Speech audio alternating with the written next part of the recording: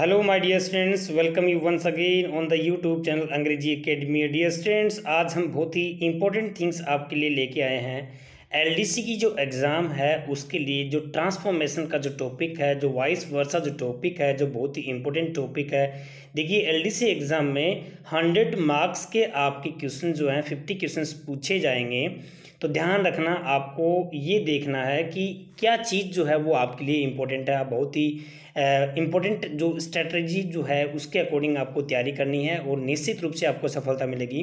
तो सबसे पहले मैं आपको आपके लिए एक बहुत ही इंपॉर्टेंट टॉपिक लेके आया हूँ ट्रांसफॉर्मेशन का, जो बहुत ही इम्पोर्टेंट है और आपसे क्वेश्चन पूछे जाएँगे। हंड्रेड परसेंट उसमें से क्वेश्चन पूछे जाएँगे। तो आज हम डिस्कस करेंगे एक छोटा सा जो सैंपल पेपर आपके लिए लेके आया हूँ मैं और हमारी जो अकेडमी है, अंग्रेज़ी अकेडमी इस पर आपको एलडीसी का जो टोटल कोर्स है टोटल सिलेबस है, वो मिलेगा।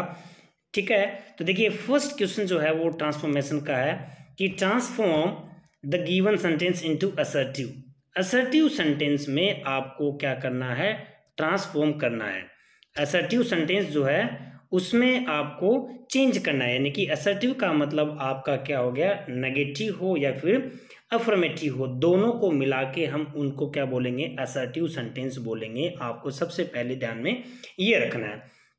तो देखिए, पहला जो है how gorgeous is the sunset और यहाँ पे ये इंट्रोगे जो है आपका एक्सक्लेमेटिव मार्क यानी कि ये जो सेंटेंस है, वो एक्सक्लेमेटरी का है। एक्सक्लेमेटिव सेंटेंस में एक्सक्लेमेटिव मार्क ये होता है, ठीक है? जिस भी सेंटेंस के आगे ये एक्सक्लेमेशन का मार्क होगा that is called exclamative sentence और इसको किसमें चेंज करना है? असर्टिव सेंटेंस में चेंज करना है, ठीक है? तो देखिए, इसमें असर्टिव सेंटेंस का मतलब क्या हो गया? सिंपल सिंपल का मतलब हो गया साधारण. तो देख रहे यहाँ पे ये इंट्रोगेटिव है, यहाँ पे ये भी क्या हो गया? इंट्रोगेटिव हो गया. और यहाँ पे ये वापस क्या हो गया? असर्टिव सेंटेंस एक्सक्लेमेटिव सेंटेंस हो गया। लेकिन यहाँ सीधा सीधा सा है the sunset is very gorgeous जो सनसेट है, जो सूर्य अस्त है सूर्य अस्त होने का जो सीन है वो बहुत ही मनमोहक है। तो ये यहाँ पे सिंपल हो गया, ये साधारण सेंटेंस हो गया तो इसका आंसर क्या आ गया? सी आ गया। मैं एक बार वापस बता रहा हूँ आपको कि ये जो सेंटेंस मैं आपको करा रहा हूँ, इनमें से हंड्रेड परसेंट ऐसे ही सेंटेंस आपसे पूछे जाएँगे। ठीक है डियर उसके बाद में जो सेकेंड क्वेश्चन आता है transform the given sentence into superlative superlative का आपको चेंज करना है। तो देखिए डिग्री जो होती हैं, वो तीन प्रकार की डिग्री होती हैं। पॉजिटिव डिग्री कंपेरेटिव डिग्री और सुपरलेटिव डिग्री पॉजिटिव डिग्री जो होगी, उसकी पहचान होगी एज एज या फिर सो एज एक चीज़, दूसरी क्या होगी पॉजिटिव की पहचान होगी ई e आर या फिर उसमें क्या लगेगा मोर लगेगा। और सुपरलेटिव की पहचान होगी, या तो उसमें डे तो आएगा ही आएगा, ठीक है? लेकिन दूसरा क्या आ सकता है? मोस्ट और ई एस टी ये जो चीज़ें हैं वो आपके सामने आएँगी। तो ये जो है, इसमें ये पूछा है कि सुपरलेटिव डिग्री में आपको चेंज करना है। तो सुपरलेटिव डिग्री में चेंज करेंगे तो देखिए, पहला क्वेश्चन है no other metal is as as as है तो ये कंपेरेटिव डिग्री होगी, क्योंकि इसके अंदर क्या आ गया? एज और एज आ गया। अब इसको हमें सुपरलेटिव में चेंज करना तो सुपरलेटिव में एक्सेप्ट नहीं आता है। दूसरा क्या हो गया? यहाँ इजेंट गोल्ड तो ये इजेंट इंट्रोगेटिव बन रहा है। Gold is the most expensive of all metal gold is expensive all the metals तो देखिए, यहाँ पे आपका जो आंसर होगा, वो होगा ऑल मेटल्स ये वाला होगा। ऑल द मेटल्स की बजाय ऑल मेटल्स ये इंपॉर्टेंट है इसके अंदर। तो gold is the most expensive of all metals यहाँ पे इसका आंसर क्या हो गया? डी आंसर हो गया। हमने जो डिग्री है, बहुत ही बेहतरीन ढंग से एक्सप्लेन किया है। मेरे जो आप डिस्क्रिप्शन में जाके देखोगे तो वो जो डिग्री वाला जो पोर्सन है, पूरा का पूरा आपको वीडियोस में मिल जाएगा लिंक मिल जाएगा, उसमें आप देख सकते हो। उसके बाद नेक्स्ट क्वेश्चन आता है question number third transform the given sentence into simple simple sentence क्या होता है भाई? देखिए, सबसे पहले सिंपल सेंटेंस को पहचानना है। सिंपल सेंटेंस को पहचानने के लिए उसमें एक ही फाइनाइट वर्ब होती है, यानी कि एक ही सेंटेंस होता है। एक ही फाइनाइट वर्ब होती है। फाइनाइट वर्ब क्या होती है? जिसमें जो सब्जेक्ट से और टेंस से चेंजेज हो जाती है, वह फाइनाइट वर्ब होती है। तो एक फाइनाइट वर्ब होगी तो वो क्या कहलाएगा? यहाँ पर एक सिंपल सेंटेंस कहलाएगा। इसमें एक फाइनाइट वर्ब ये है और एक ये है। इसका मतलब ये सिंपल सेंटेंस नहीं है और इसको हमें चेंज करना है सिंपल सेंटेंस में। इसमें टुडे आ गया, इसमें टुडे नहीं है। ठीक है तो ये वाला क्रॉस है। उसके बाद में सी इज़ कमिंग इसका मतलब ये भी नहीं है। दूसरा क्या कर रहा है? She told that she was तो ये भी क्या हो गया? कॉम्प्लेक्स सेंटेंस हो गया। हमें चाहिए सिंपल सिंपल का मतलब जिसमें एक ही फाइनाइट वर्ब हो। तो इसका आंसर क्या हो गया? She she told of her coming उसने अपने आगमन के बारे में बताया। तो यहाँ पे इसका आंसर क्या हो गया? ये सी आंसर हो गया। आप अपना कमेंट बॉक्स में नहीं समझ आए तो अपना कमेंट बॉक्स में मुझे कमेंट करना है कि which one is correct and how कैसे? I will explain it very well right question number four transform the given sentence into adjective adjective क्या होता है? कोई भी चीज़ की क्या बनाना? कोई भी चीज़ की आप, जो नाउन होता है, उस नाउन के पहले जो चीज़ आती है, वो क्या कहलाती है? एडजेक्टिव कहलाता है। ये रेस्पेक्टफुली ये एडवर्ब है। इसको हमें क्या बनाना है? एडजेक्टिव के अकॉर्डिंग बनाना तो she treated me with respect ये प्रीपोजिशन आ गया।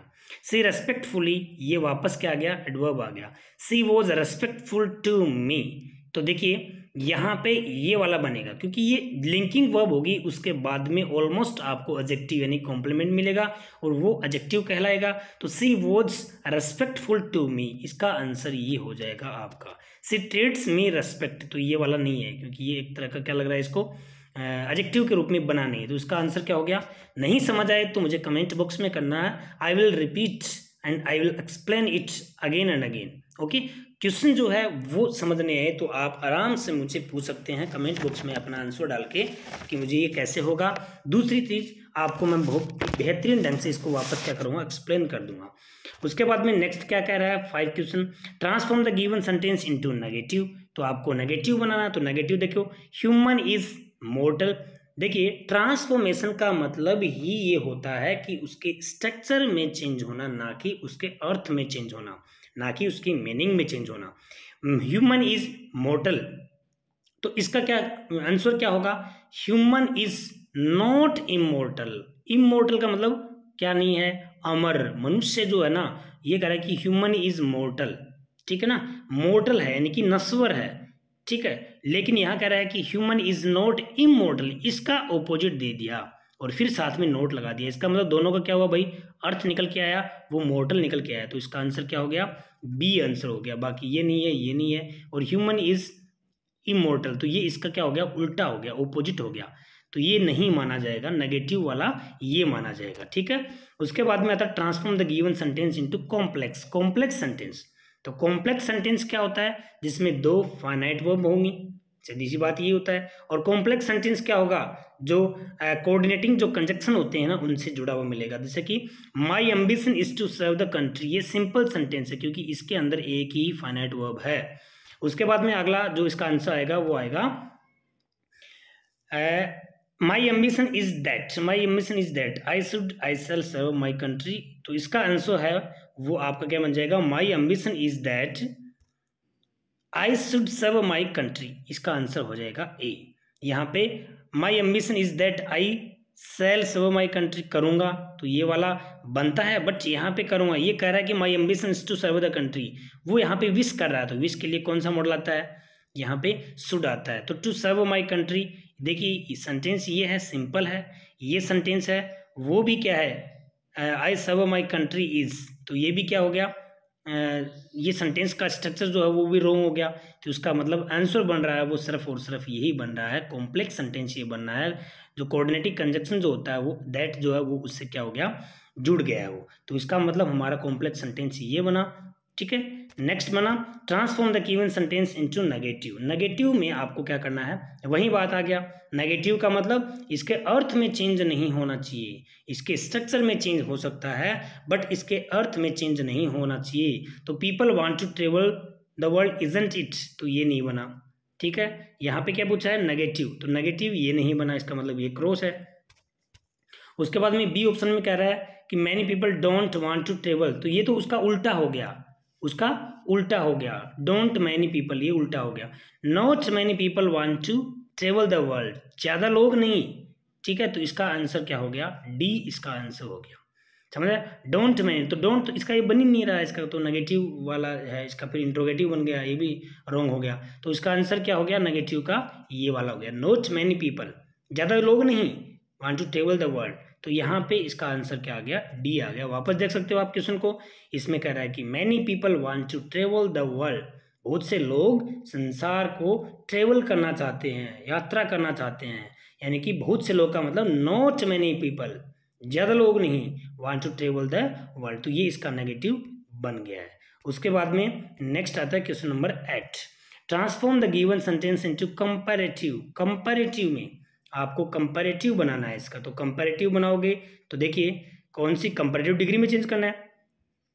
तो यहाँ पे कह रहा है कि that chocolate is not as as as कौन सा टेंस हो गया, वो हो गया डिग्री होगी पॉजिटिव होगी। तो इसका आंसर क्या हुआ? यहाँ पे इसका आंसर जो वो मिस हो गया है। तो यहाँ इसका जो आंसर बनेगा वो होगा this chocolate is sweeter than that one this chocolate यहाँ पे दैट जो है वो दिस चॉकलेट में चेंज हो जाएगा।